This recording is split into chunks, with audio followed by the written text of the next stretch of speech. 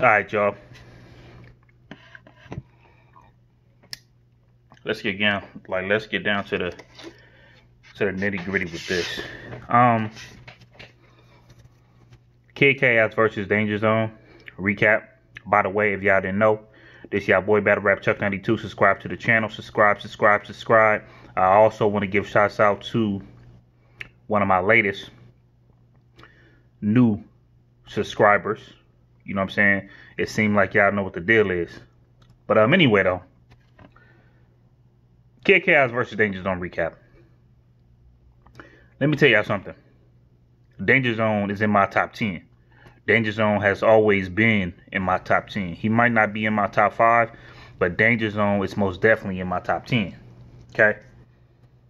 Now, I just wonder as far as cuz because I didn't check the app. I just want to know who y'all got.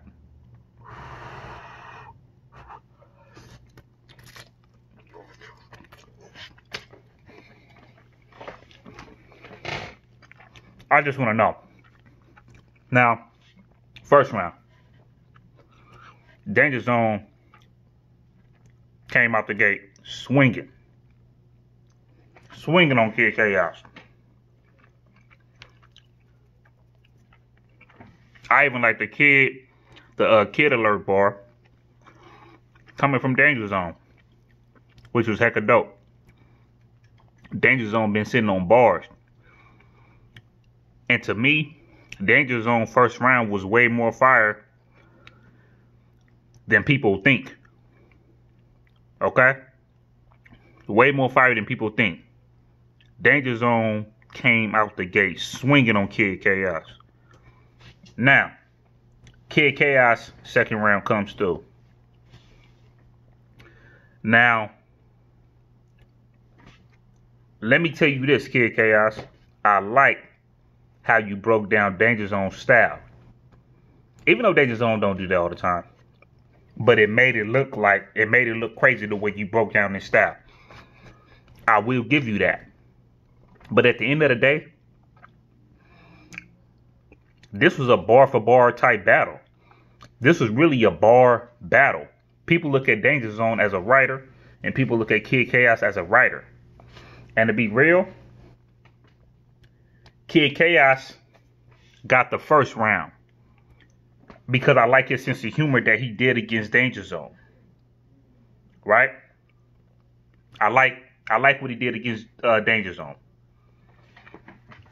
And that's actually that's now I'm not trying to confuse y'all.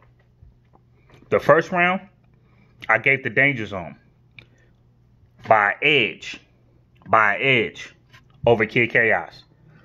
Now the second round, Danja Zone actually had like a good enough second round to the point where it's like, uh, can Kid Chaos beat it?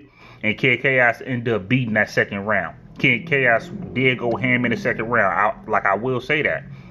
He went ham up in the second round.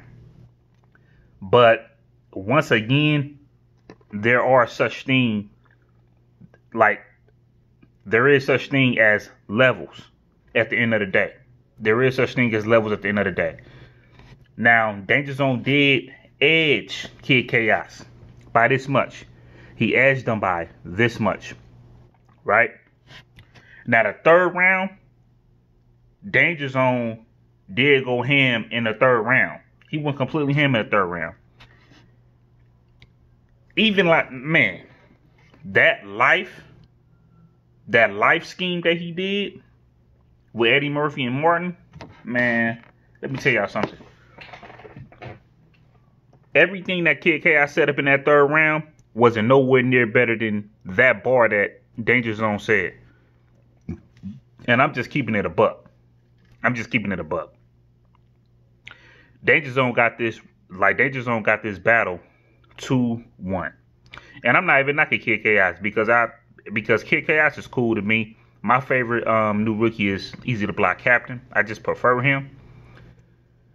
Kid Chaos is dope, man. But when it gets to certain things as far as like with like the rookies versus like the vets or whatever, whatever y'all want to call it, it always come to the point where like where certain things is lopsided. It always come to the point where the vet probably did like so so good to the point where it wasn't no way the rookie was gonna win. It's always like that.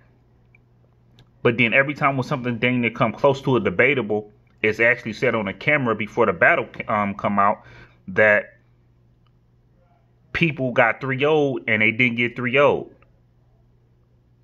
JC did not 3 0 um I mean, Prep did not 3 0 JC. I think I have JC winning that battle 2 1. I think I have JC winning that battle 2 1, man. On a real. And I'm not playing. I'm not playing. So it's like, my thing is, though, it's just like, I can't even really say of what's going on because I don't really know all the people that's there. But it just seemed like it's some type of like bias or whatever going on. But it always seemed like that when it's like a rookie versus vets, man. It always seemed like that. It always seemed like that. Always.